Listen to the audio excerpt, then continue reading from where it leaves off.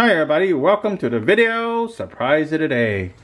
Today we have a GE high flow filter system here.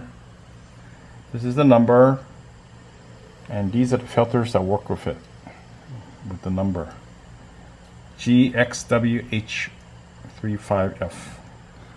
So you need to get a filter exactly the same high flow household replacement filter. So make sure the filter you're looking for is exactly the same model right here. So this filter will work fine. This one reduces the sediment and chlorine taste as well. So I'm going to go ahead and change them out. We got the, what we have here.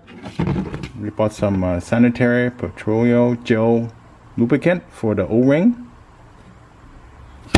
And also of course the device to open it when we remove it, we probably rinse, rinse it out and make sure we get all the dirty stuff out before we put the new filter in. So notice that these also have these washers over here. So we want to do it exactly like that. So I'm going to get started. First thing you need to do is uh, turn off the water, open up the garden hose when the nozzle connect into the water source so it'd be easier to open the filter. Okay, so I put a bucket over here.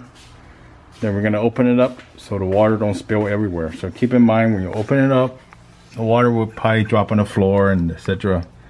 So I want to put a clean area. So I'm gonna go ahead and open it. To remove the filter, you must turn this clockwise. So notice I'm doing. I'm holding it over here. I'm putting steady pressure. I'm trying to even the pressure. And that's the with the wrench. So clockwise.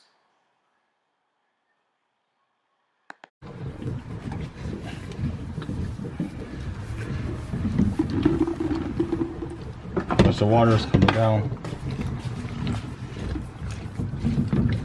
clockwise, counterclockwise to put back in.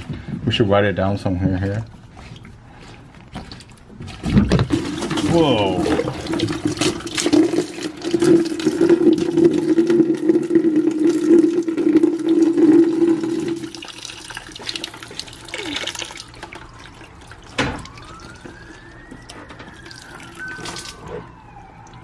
Take it out.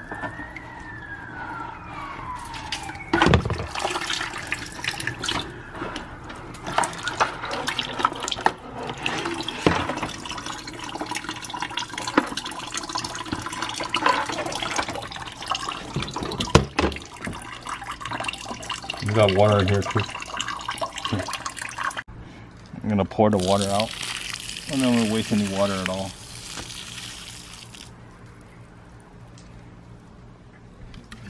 That filter's really dirty. Look at that.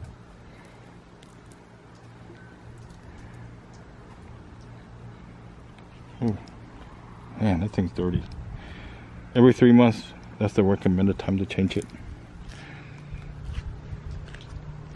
Okay, so we got the, the package open for this high flow household replacement filter and this one works for it. You can check the number GXWH35F I already cleaned the inside here. Put it in here. I had to do some uh, petroleum jelly. Actually, this is special type that you could taste odorless.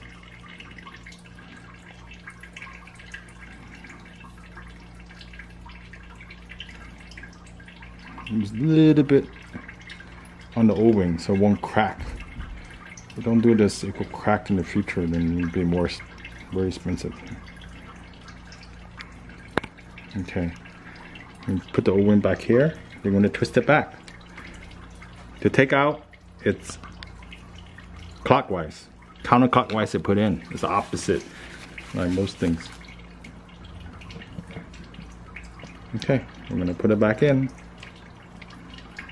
Come on, this thing out there. Clean that out. Okay.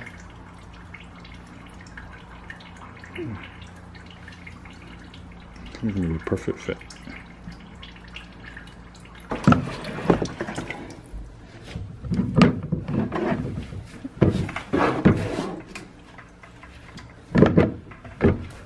be careful on this one. Make sure the threads match.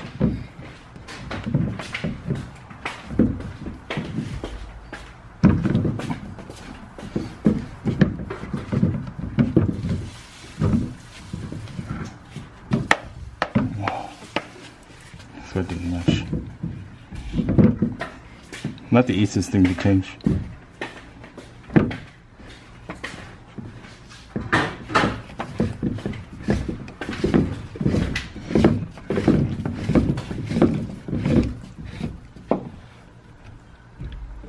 Okay.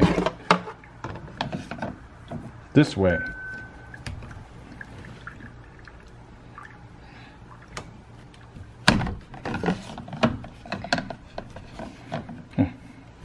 Now.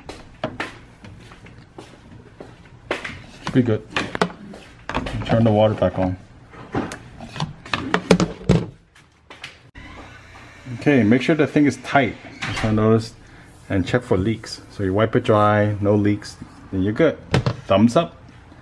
See you next time. Bye.